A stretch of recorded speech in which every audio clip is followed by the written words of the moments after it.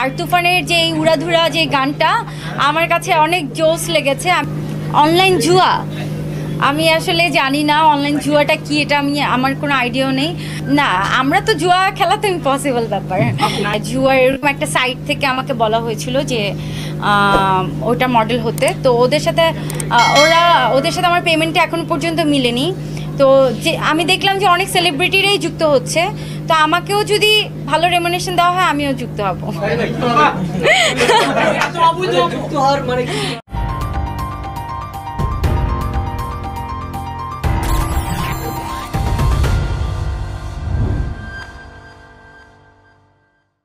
আর আলিফের ব্যাপারটা আলিফের ব্যাপারটা টোটালি ভিন্ন কারণ ওর সাথে আমার রিলেশন প্রায় টু ইয়ার্স এই মেকওভার স্টুডিও ছাড়াও কিন্তু ওর আরেকটা মেকওভার স্টুডিওতে ছিল। আমি কন্টিনিউয়াসলি আমি সবসময় আলিফ মেকওভার স্টুডিও থেকে যেহেতু ওর ওর মেকওভার স্টুডিওর পাশে হচ্ছে আমার বাসা। তো ও আমার খুবই মানে নিয়ার তো আমি যখনই আমার কোনো শোতে যাই, আমার কোনো কাজে যাই পার্টি মেকআপ হয়, আমি সবসময় ওর পার্লারে আসি। তো ওর পার্লার থেকে আমি মেকওভার নেই, তো আমার হেয়ার স্টাইল থেকে শুরু করে ও সবসময় করে। সো ও ও মানে ওর কাছ থেকে আমি এখন পর্যন্ত প্রতারিত হইনি।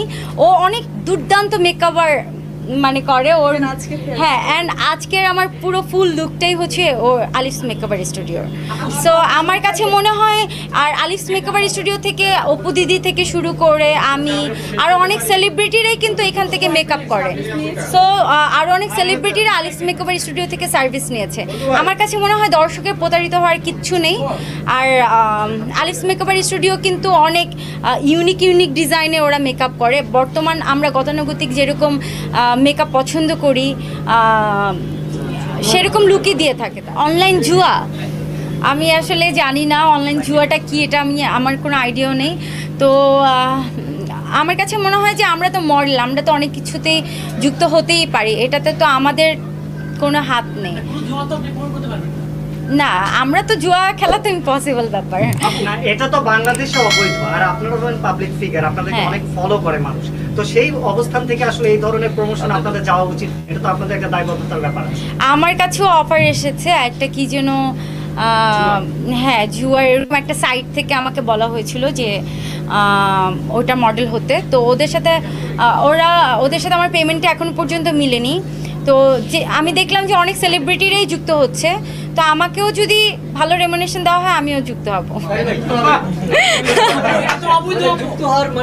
না অবৈধ সেটা আপনারা যদি খেলে সেখানে ক্ষতিগ্রস্ত হন আপনাদের জন্য অবৈধ। আমরা তো কাজ করছি এটা আমাদের কাছে কাজ। আরে ভাই এটা তো আমাদের জব আমাদের কাজ। আমরা যে কোনো যে কোনো কিছু ব্র্যান্ড প্রমোট করি। সো এটা আমরা তো এটা নেগেটিভ কিছু দেখছি না। অফকোর্স নট এখন আমি না করলে তো আরেকজন করবেই। না, একটা প্রশ্ন জানতে চাই যেটা রাষ্ট্র এলাও করে না সেই কাজটা করা তো রাষ্ট্র বিরোধী। আচ্ছা খেলা খেলে আমরা যদি ব্র্যান্ড প্রমোট আমরা যদি এটা প্রমোশন নাও করি একজন জুয়ারির প্রফেশন হচ্ছে সে জুয়া খেলবে। সো সে এমনিও খেলে সে নিঃস্ব হয়ে যাবে। এটা আমাদের প্রমোশন আর না প্রমোশনে কিছু যায় আসে না।